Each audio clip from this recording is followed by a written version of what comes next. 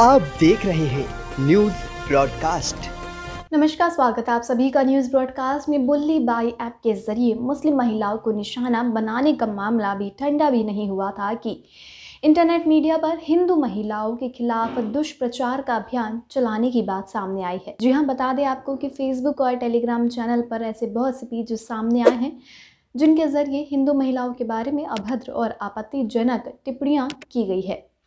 केंद्रीय electronics and सूचना तकनीक मंत्री अश्वनी वैष्णव ने इस मामले में कार्रवाई का भरोसा दिलाते हुए कहा है कि चैनल ने इस तरह के आपत्तिजनक पेज हटा दिए हैं। इस बीच बुल्लीबाई प्रकरण में उत्तराखंड से एक युवक को गिरफ़्तार किया गया है। तो वहीं मुंबई पुलिस के आयुक्त हेमंत नगराले के अनुसार इस मामले में अब तक तीन लोगों को गिरफ़्तार किया जा चुका है।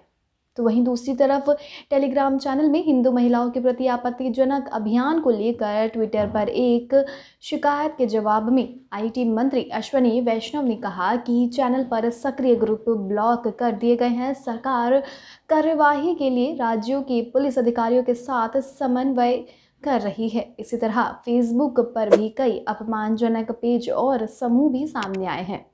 जिनके खिलाफ एक ट्विटर उपयोगकर्ता द्वारा ट्वीट किया गया था। अब तक लिए बस इतना ही। देश दुनिया से जुड़े तमाम अपडेट जानने के लिए हमारे चैनल को आज सब्सक्राइब करें। इस वीडियो को लाइक एंड शेयर करना बिल्कुल भी ना भूलें।